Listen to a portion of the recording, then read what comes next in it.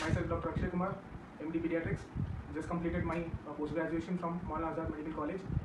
I am here to share my views about uh, pediatric residencies to clear all your doubts regarding why to join the branch, where to join the branch, and what can what and all you could expect uh, in the three, these three years of residency uh, in field of pediatrics. Why pediatrics?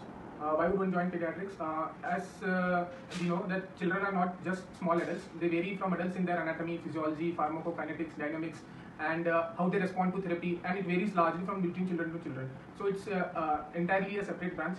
People who like medicine and don't like much of adults are can opt to pediatrics. And those who like to be surrounded by children and mind you also can bear with their tantrums at the asked, uh, pediatrics is for you. Uh, this gives it's a very rewarding branch, gives a lot of satisfaction, and uh, it, you will never regret taking pediatrics if you fill up. Regarding the pros and cons, uh, the list of pros and cons uh, varies between individual to individual, and each one has to make its own. Regarding the branch and the college, one you must opt. In regarding pediatrics, uh, the pros are it's more satisfying branch and gives a lot of happiness do, doing work and it's, it's all more, of a pros only. And regarding cons, uh, there's no such specific uh, disadvantage, but uh, uh, it's a very responsible branch. You have to like any other branch in medicine, but uh, uh, it you have to be on your toes and take own own your own mistakes and learn from them and be responsible for them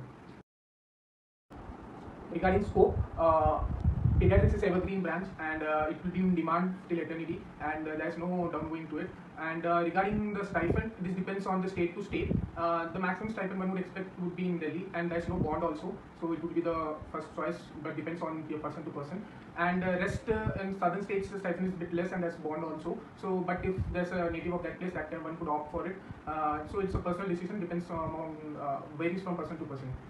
And regarding the need for super specialty in pediatrics, in the second and third tier cities, uh, the uh, requirement for super specialist uh, in pediatrics branch as such is not uh, that much and uh, it's not required. But in metropolitan cities, uh, there are uh, many super specialists in the pediatric branch and the, demand is rising for them. And if one used to uh, want to uh, settle down in a metropolitan city, uh, one would opt for uh, a super specialty. The other super specialty branches are the major chunk would be neonatology, neonatology. Other are pediatric gastroenterology, pediatric neurology, pediatric cardiology, uh, developmental pediatrics, and uh, a few more uh, endocrinal, uh, pediatric endocrinology, and a few more booming branches are coming on.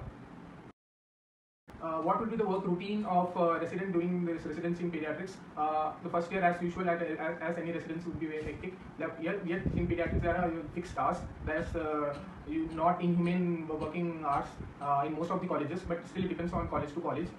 Uh, first year is more of a practical work. One would learn the most uh, important skill, which is the cannulation and uh, lumbar puncture and other uh, day-to-day routine uh, practices and uh, basic skills.